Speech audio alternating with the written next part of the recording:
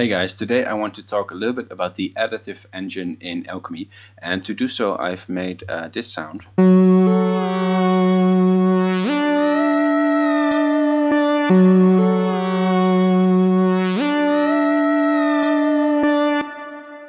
Um, so nothing much is going on inside the piano roll there, only two notes, uh, one and a six, and also nothing much is going on, on on this main interface here. We're only using one source. We're not using filters. Um, we're using just one reverb.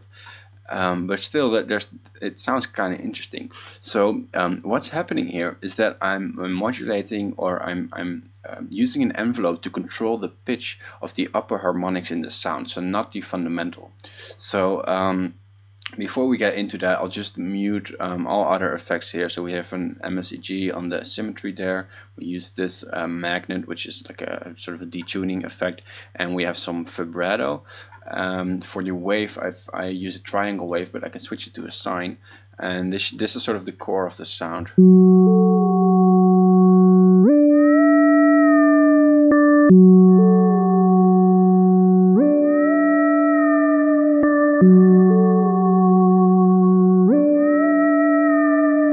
So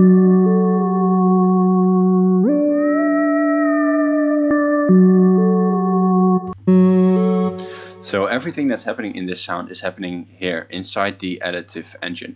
And I want to demonstrate this with a new patch. So let's quickly jump into a new Alchemy, completely fresh. Um, right now it's we have two notes here, uh, one and a five. And um, if I play this, we just hear the default saw wave.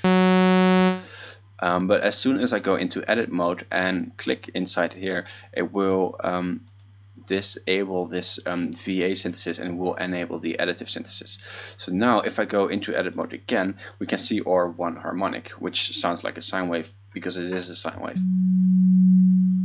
Um, so what happens here is that at the top we see our harmonics and we only see the odd numbers, but um, they're all there. Um, if we were to only draw those odd harmonics, we would get a saw, square wave, for example, or at least a hollow sounding wave. Um, but the cool thing, and something that I haven't seen in any other graphical synth, is that not only do we have control over the volume of these partials, we also have control over the tuning, um, which is what I used. So let's just start by adding our first harmonic, we need to select it here. So this window, um, I, I won't have the time to go into every detail, but um, I will give you a few hints along the way. One of those tips is that um, this overall button here, if it's clicked on, we see all of the harmonics at the same time and we see sort of an average of their amplitudes and their envelopes. So since we're going to um, alter individual harmonics want to click this off. And then everything you select in this upper window is shown in this lower window. So right now I have this first partial selected. I can see the envelope of that. If I click 2 we can see that it doesn't have an envelope yet and, and, and so on for 3 and all the other partials. So that ha that happens the same with the tuning window. So we see a different envelope as soon as we switch to the tuning. Um, and they will be all be centered because that's um, you can go up and down in terms of in terms of pitch. So let's first just draw the volume envelope of our first harmonic. Um, I'll just take this last dot here and I'll move that to let's say uh, 3 now I can drag this bar in to resize that. It's sort of an odd system but uh, you'll get used to it. And then I'll set my loop markers which are those yellow guys there. I can uh, click to create a point and I can right click to delete a point. So now I have my volume envelope. In case you're wondering why we're not seeing that partial anymore, that's because I have this last dot selected. You can see it's bright white. If I select another one, we can see the volume at that point of that specific partial. Alright, and there I accidentally created a null dot, which is something that you have to be careful about. So now um, I'll, I'll leave this like it is, and then I'll go to my uh, second harmonic and I draw an envelope for that as well. So I'll set this all the way to the end there. So it's important here that you keep that, that you select that second bar. Um, so I'll draw a new volume shape.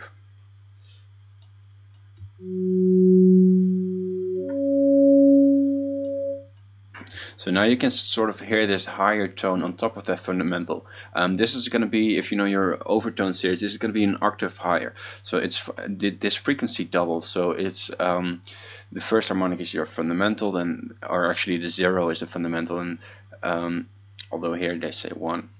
And then the next one is going to be an octave. Then after that you get a fifth, then you get another octave. That's because the frequencies um, keep stacking up. So um, hypothetically, if one was 100, then two would be 200, three would be 300, 400, etc. So that's why it um, it doubles at two and four and eight and 16, etc.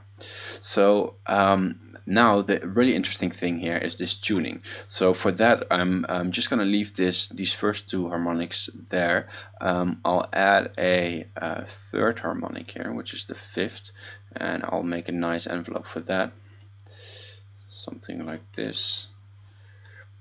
But then I'm going to focus on this fourth partial, which is quite high. It's two octaves higher than, than their fundamental. And I'm first gonna again make a volume envelope but then I'm also gonna make a pitch envelope so that pitch will only act on this harmonic and not on the rest of the sound which super cool. So here we see our pitch um, our pitch envelope. It goes up to six semitones. We can snap the pitch like that. Um, let's make sort of a glide up here and let's uh, let's actually modulate it up six semitones.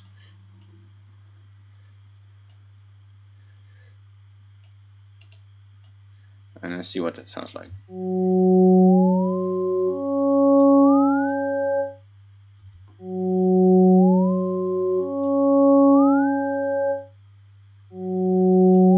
Now 6 is not ideal because it's a tritone. Um, in other words, it's not in our scale. So let's try uh, 5 semitones, which is a fourth. A perfect fourth.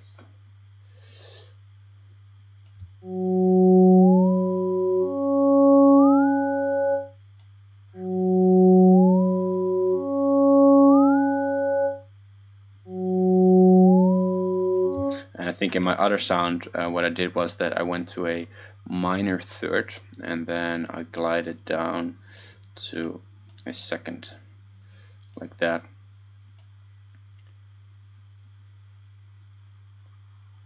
So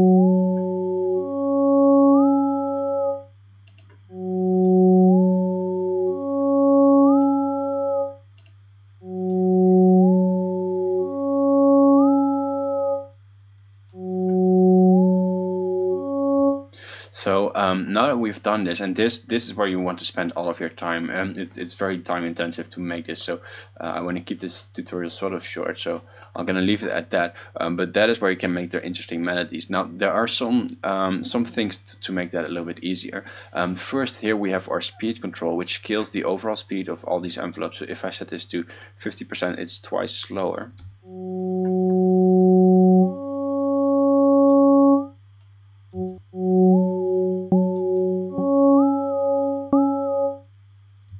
Um, and we have our position, which is where that line is. So we could set the speed to 0% and control the position manually. However, in that case, we won't have control over the individual partial. This is for, this is for everything, right? So um, I could set up an MSEG to control. In our case, it's not a big problem because um, we use a similar timing for each of these um, each of these partials.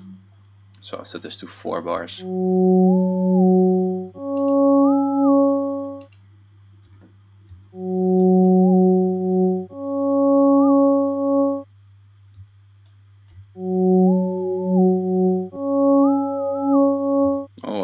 Like that. Okay, so now um, another thing that we can do to make it a little bit nicer is we can switch to a different wave. Now, um, keep in mind that if we use sine waves, then additive synthesis is really additive synthesis. If we draw one partial, we get one partial. But that's because sine waves are the only wave that have only one harmonic. All the other waves, they have more harmonics. So um, by drawing a specific harmonic, um, you don't only get that harmonic, you get other stuff as well, which becomes a problem if you're using a lot of a lot of partials because then it can sound very dissonant. For us, we're only using four, and um, we're mostly using those those partials that are um, actually the same frequency as our fundamental, so it's not a big problem, um, and we can actually see what this what this sounds like uh, with a saw wave.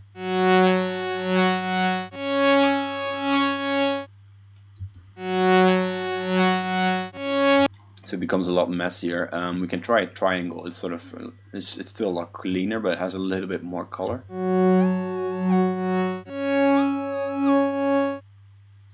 Um, all right, and then um, we can use these effects here. So um, one of them is harmonic, which sets the amount of the fundamental, the amount of the octaves. So those are those uh, 2, 4, 8, 16, etc. And the amount of odd, even harmonics and fifths. If I set, for example, the fundamental to 100%, we'll only hear that one.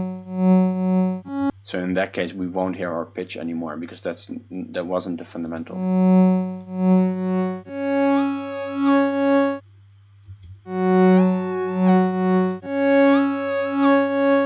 and then we can use some other effects here. Um, I'll use beating. Now this beating one, um, this knob here is a little bit counterintuitive. It's just 2, 4, 6, 8, blah, blah, blah. Um, this means the interval at which is going to beat the frequencies. And frequency beating is when two frequencies are very close together, but just not quite there yet. Um, and this gives that, that sort of um, yeah, it's really a, a, beating sound. Like you, you, can hear sort of a wobble in terms of pitch. Um, you can actually hear it.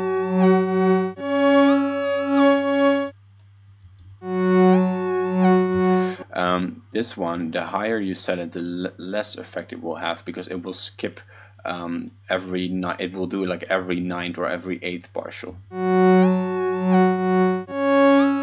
For these effects, um, it often helps to use very, very small amounts.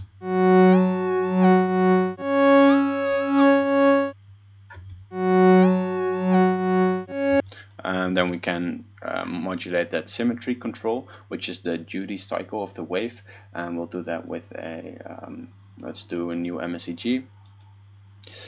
And I'll choose a preset to save some time. Uh, it's very extreme. Um, something like that.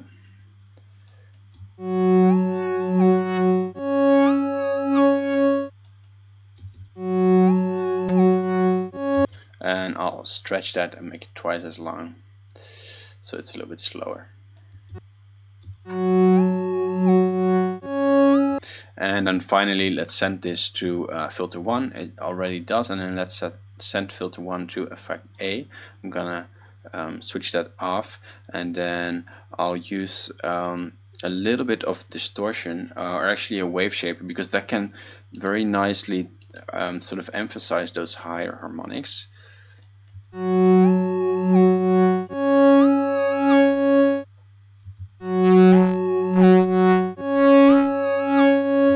then after that um, I'll use a convolution reverb to give it some nice weird drone tone in the background.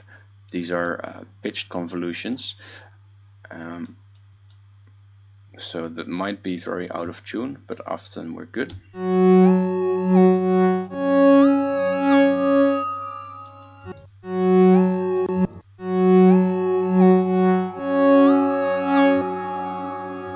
Now, if you really want to tune this, you can do so using this um, size, or you can like the approach for that would be get your tuner like that and see what what this pitch is doing. Um, you would give it a static tone and then you use this size to resize the audio file and thereby thereby change the pitch. Um, for now I'll just choose one of the drum transformers which are also nice. And then after that I'll use a little bit of a delay and a little bit of a reverb. And I'll set my delay to uh, dotted quarter notes and let's see eight notes. And then I'll give it some crossover which allows the delay of the left side to go to the right side.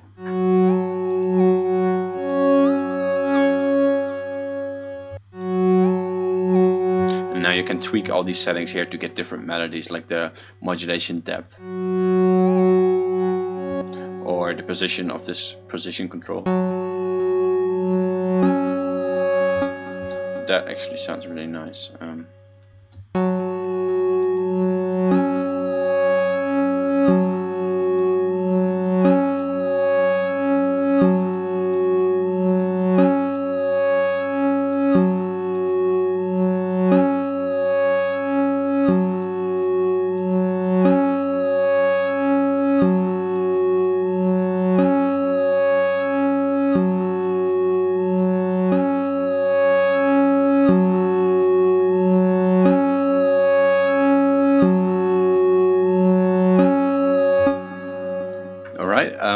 hope you got some nice ideas out of that, and I'll see you guys in the next video.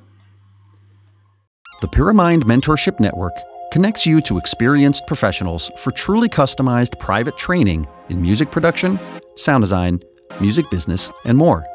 Use our scheduling tool to select the type of training you want, pick your mentor, find a day and time that works best for you, then book your session. Your appointment will be confirmed instantly. Study only what you want, progress at your own pace, pay as you go, and do it all from the comfort of your home or studio. Our global network of industry experts are here to help you. Visit pyramind.com/mentorship to get started.